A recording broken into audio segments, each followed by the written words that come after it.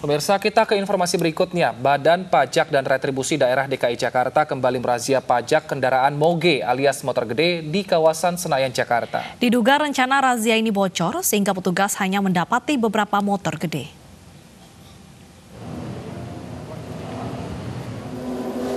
Satu persatu petugas mendatangi dan memeriksa kelengkapan surat pengendara motor gede yang terparkir di salah satu halaman pusat perbelanjaan di kawasan Senayan. Sembari memeriksa kelengkapan dan pajak, petugas mengimbau para pemilik motor gede agar taat membayar pajak kendaraannya sebelum akhir tahun. Diduga razia yang akan digelar petugas ini bocor sehingga hanya ada beberapa motor gede di kawasan ini.